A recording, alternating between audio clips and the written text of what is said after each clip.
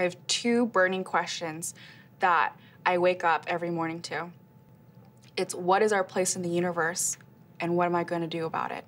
Space makes me feel both so humbled and special at the same time. Because when you look up at the sky, you see all these lights, and that starlight has traveled I mean, like billions of years. That photon has traveled all this way to reach your eye.